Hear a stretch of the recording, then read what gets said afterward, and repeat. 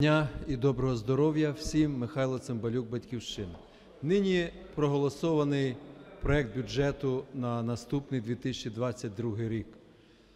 Нас, як команду Батьківщини, турбує те, що жодної вправки, яку вносила наша команда, не було проголосовано і підтримано сесійною залою, а перед тим і бюджетним комітетом. На чому ми акцентували увагу? Насамперед на соціальній політиці.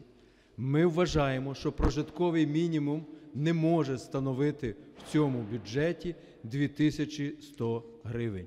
Це не та сума, за якою може сьогодні прожити громадянин.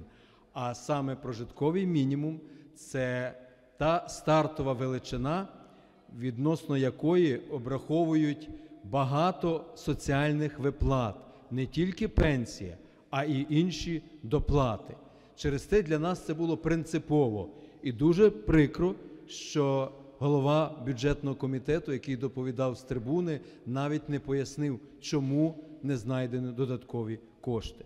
Друге питання, яке пропонувала батьківщина, що все-таки підняти мінімальну пенсію за віком до реально обрахованих величин. Сьогодні такі мінімальні прожиткові рівні становлять 5 тисяч гривень, а пенсія буде підніматись два рази наступного року на 100 гривень. Про що це каже? Це каже про те, що рівень інфляції і підняття цін споживчих в три рази з'їсть це все мінімальне підвищення. Практично влада залишає громадянина, пенсіонера жити на 64 гривні в день. Чи витримають це українці? Є велике питання. Наступна пропозиція була щодо мінімальної заробітної плати. Мінімальна заробітна плата за проектом цього бюджету наступного року буде підніматись два рази. З січня вона встановитиме 6500, а з грудня наступного року 6 тисяч 750 гривень.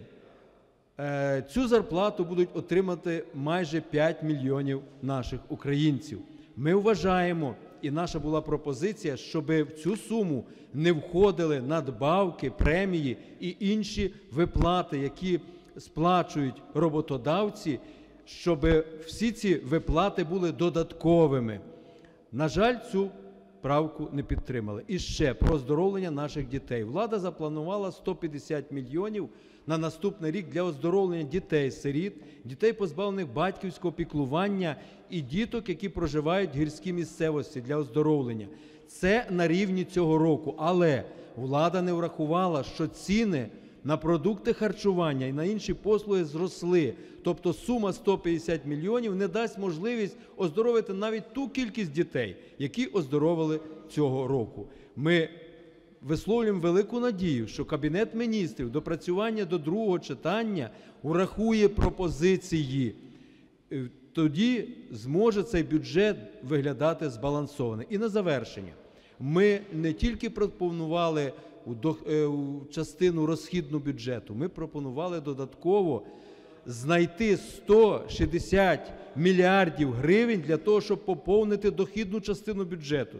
На жаль, до нашої пропозиції монобільшість не дослухалась. Маємо те, що маємо, але боротьби не припиняємо. Вимагаємо від кабінету міністрів все-таки врахувати до другого читання частину цих поправок. Дякую.